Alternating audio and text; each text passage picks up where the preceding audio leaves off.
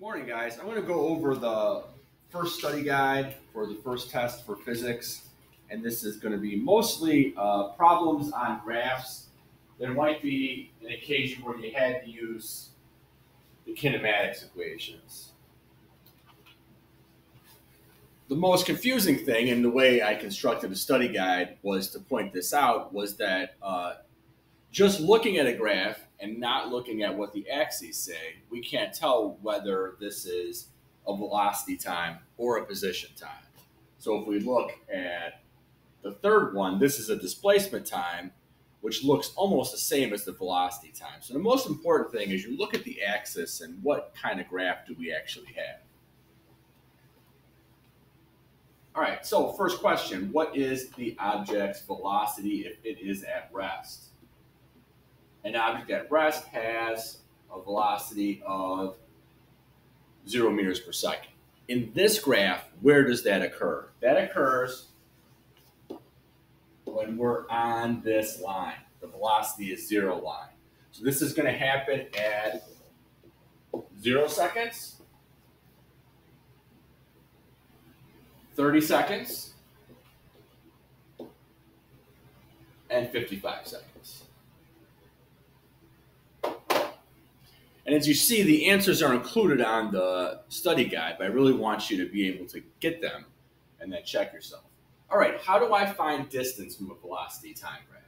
From a velocity time graph, my distance is going to be the absolute value of my areas. If I just take my areas, I'm going to get my displacement. But if I just take the positive values, I'm going to get distance the difference between distance and displacement. Displacement takes into account the direction, and it only matters where you start and where you end, as opposed to distance, which is how far you travel. All right, so what is the object's displacement for the entire graph? So I'm going to take into account the positives and the negatives and add them together.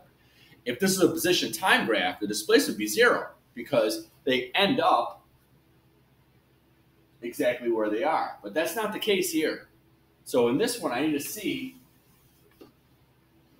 what my areas are. And I'm going to have three positive areas where I have a positive velocity. So I'm going to be going forward or up or to the right. And I'm going to have one, two, negative areas where I'm traveling backwards or down or to the left. So these represent negative velocities down there. All right, so I'm going to do uh, base times height divided by 2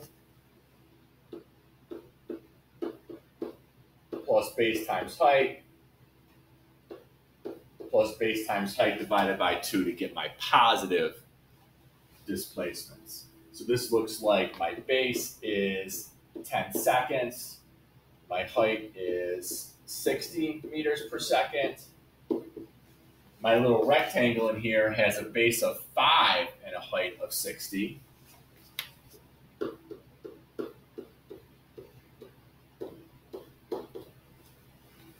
And my last one looks like it has a base that goes from 15 to 30. So a base of 15 seconds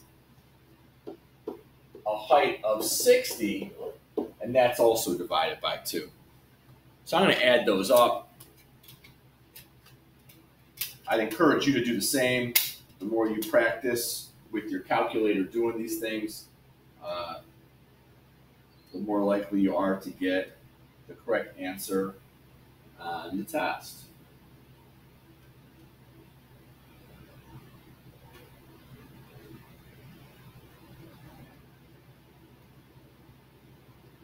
So I got 1050 positive, but that's not the answer. That's the farthest I'm going to get away from the starting point. But then this red part here, I have backward ones. So I'm going to look at those and I'm going to get those areas. And so I'm going to have base times height divided by 2 plus base times height divided by 2. So the first one has a base of 10 seconds a height of negative 40. The second one has a base of 15 seconds and a height of negative 40. And I'm going to add those up in my calculator.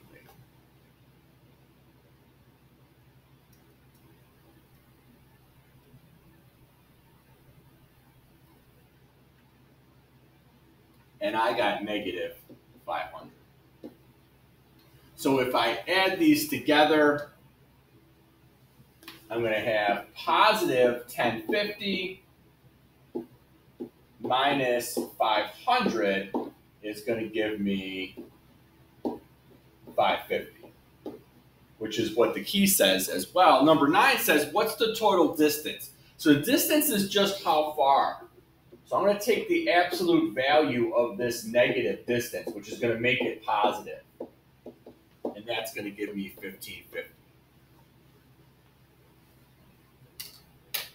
So we can get either one from a distance time graph. All right, displacement time graph.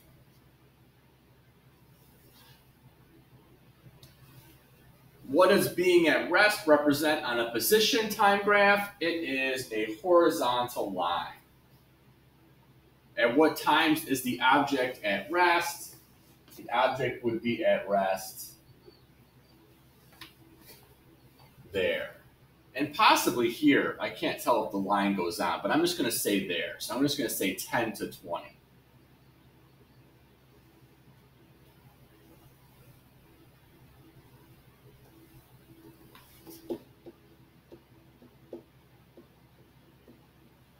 Now it passes through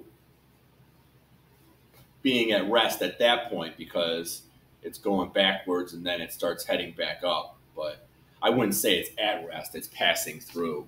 Kind of like if you threw something up in the air, there's a moment where the object, when it's at its height, when it changes direction, passes through velocity being equal to zero. When I think about something at rest, like it's there for an amount of time.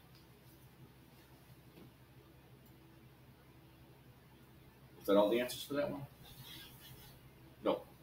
All right, what does an acceleration look like on a position time graph? This is going to be a curve.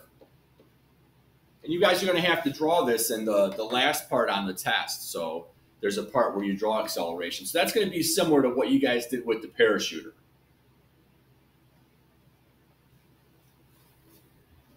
I'm still drinking my morning coffee at 6.37 right now.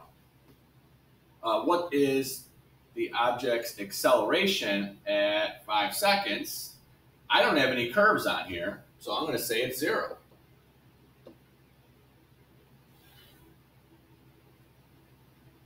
Right? If I look at five seconds, it has a velocity, but it's constant. It's a straight line.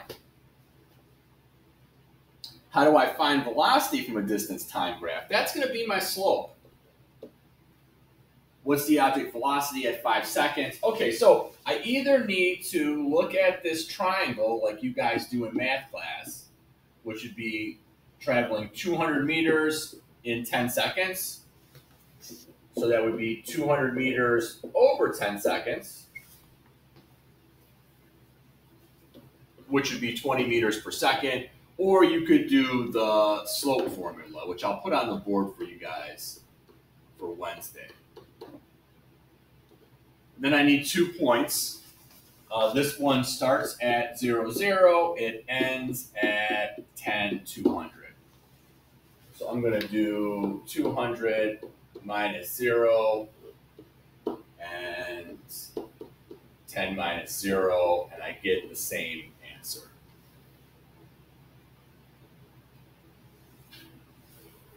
Just is like just quite off, right? All right, what is the displacement for the entire graph? What is the distance? So uh, this is where it starts. It starts at zero, it goes away, it rests, it goes back to zero, it goes backwards, and it goes back to zero. So the displacement would be zero. The distance, I have to add up all of these distances. So the first one, it goes from 0 to 200. So it goes 200 meters. Then it rests. that's zero. Then it goes back to the origin, which would be 200. Then it goes 100 backwards, which would be 100. And then it goes back to where it started, which would be another 100. So it looks like it's 600 meters. All right, at one time is the object moving backwards. Uh, backwards on this graph is going to be negative slopes. So whether it's backwards, left, or down, that's going to be a negative slope. And so this big long line here is a negative slope. So it looks like from 20 seconds to 45 seconds would be a negative slope.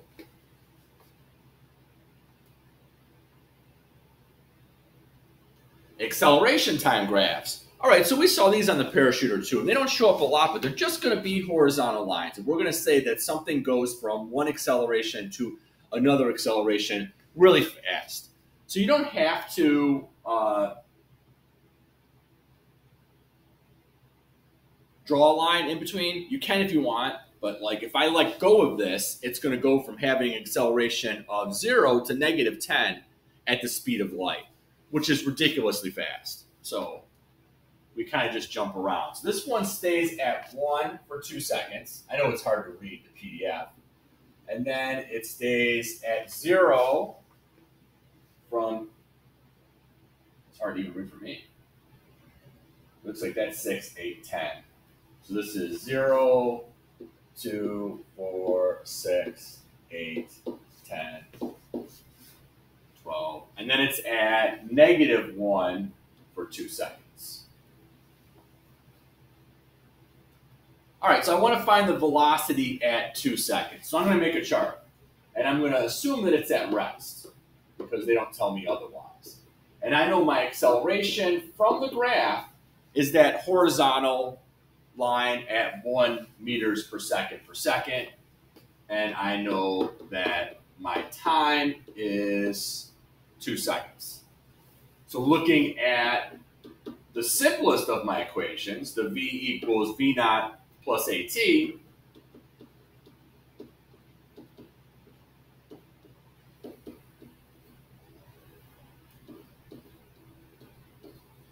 I end up with 0 plus 1 times 2. And so it looks like it ends up at 2 meters per second at 2 seconds. So, pretty straightforward.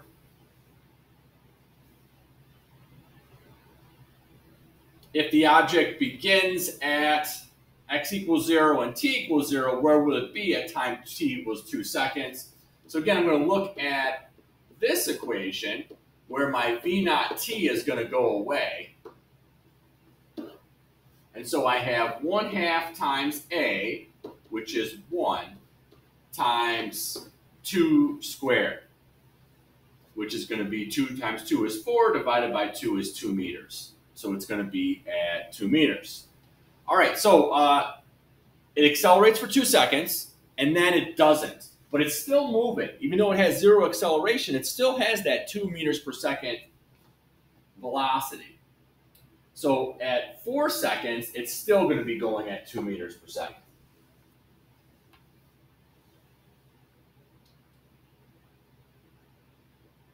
And then where will it be at four seconds? Okay, so in the first one, I went two meters. If I made a chart for two seconds to four seconds, I would have an initial velocity of two, a final velocity of two, an acceleration of zero, and a time of two. So I don't put four in here because the time is the increment. This is from two to four seconds. That's a two second increment. So two goes in here, and now I can look at my equation, and now the v naught t doesn't cancel out, but the 1 half at squared does.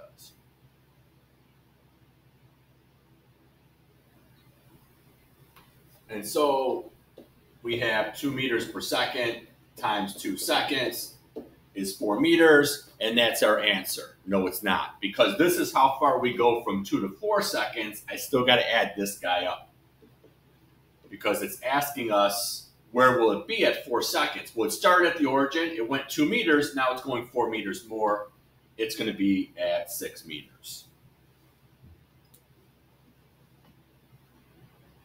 Geez, this is hard to see. All right, so hopefully your copy looks a little better. I have a position time graph. I have a velocity time graph.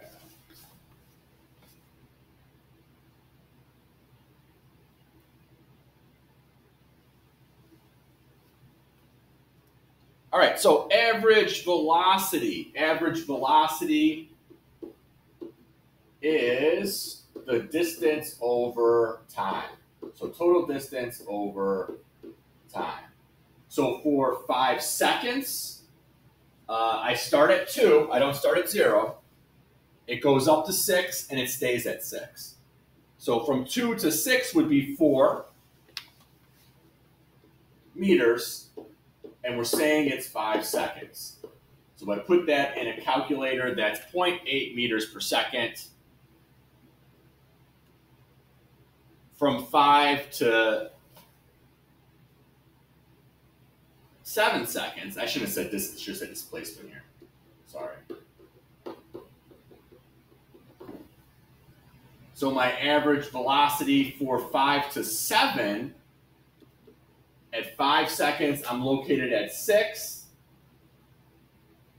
At seven seconds, I'm located at zero. So my displacement would be negative six meters and it took me two seconds. So this is negative three meters per second.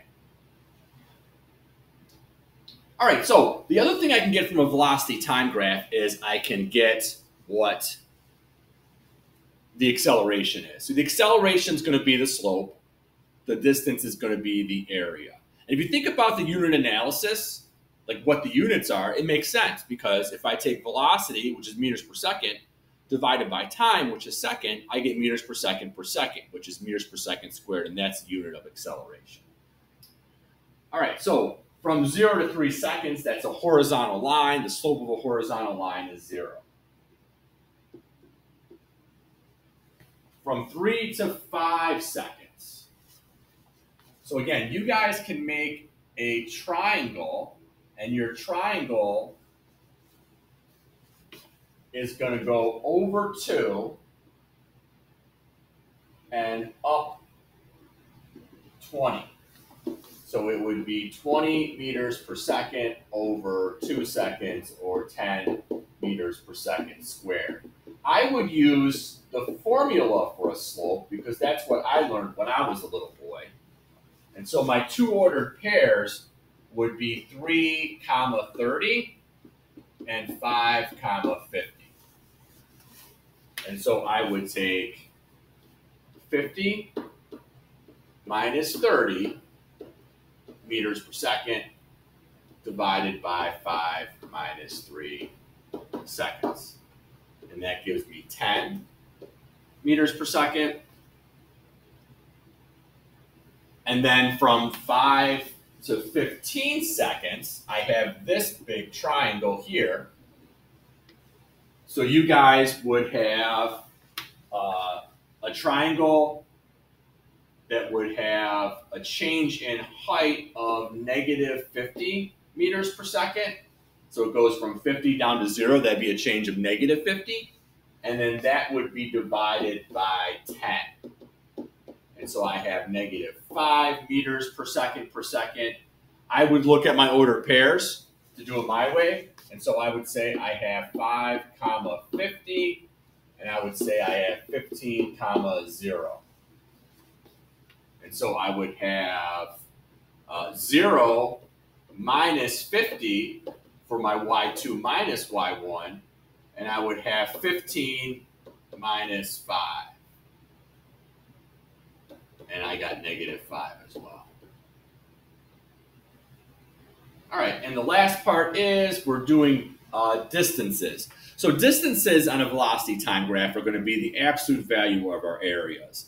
This isn't going to matter for this one because we don't have any negative velocities. Our velocities are between zero and 50. So all of our distances will agree with our displacements.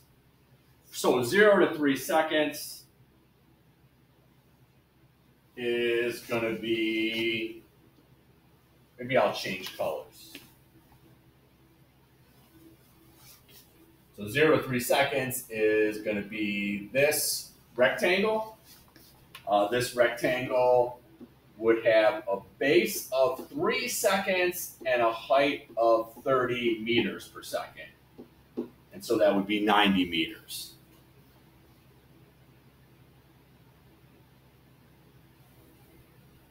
From three to five seconds, I'm going to have, and I'll change colors again,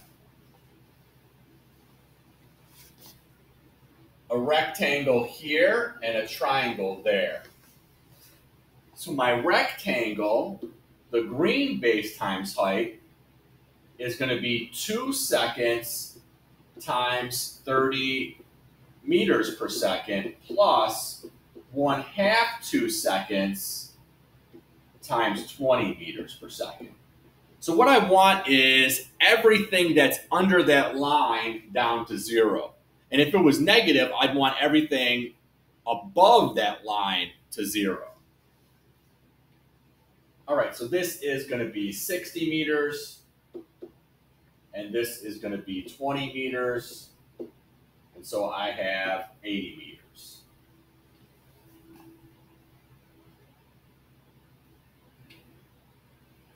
Why does my key say 90? Hmm. Oh, because that's the one before it. I looked at wrong thing. Yeah, so it's 80. All right, and then from 5 to 10 seconds. All right, so 5 to 10 seconds. I'll change the color again. Maybe I'll erase a little bit to give myself a little bit more room. Go back to blue.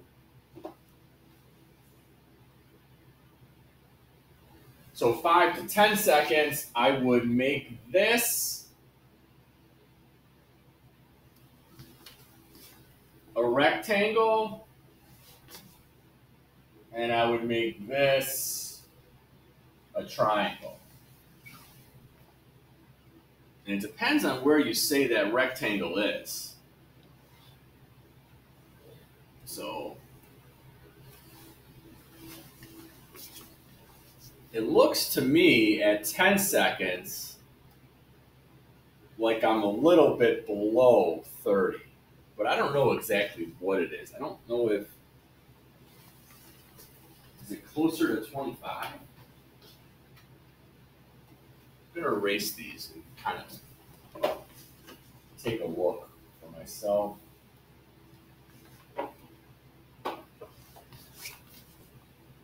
So there are the dots going down. So this is 10 seconds here. If I line this up, maybe it's 25. I'm going to use 25, but I mean, it'll be very clear on the test. I know that this is, this is a graph I made on Excel, so that's how old the graph is. So I'm going to say that that is 25. And so I'm going to have a rectangle that goes five seconds and goes up 25 meters per second. And then I'll have another triangle, and that's going to also be five seconds, going up an additional 25. And then I divided that by two. And I feel like on the key, like someone changed the the distance.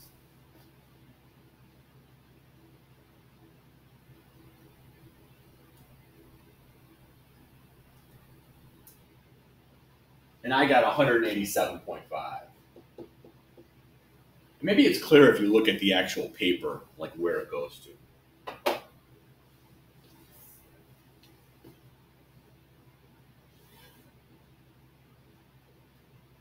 All right, guys, uh, that is the end. You'll have a couple days before the test. Please go over and feel comfortable with both what you can get from graphs, how do I calculate slopes, how do I calculate areas, and how do I use those kinematics equations, those three equations.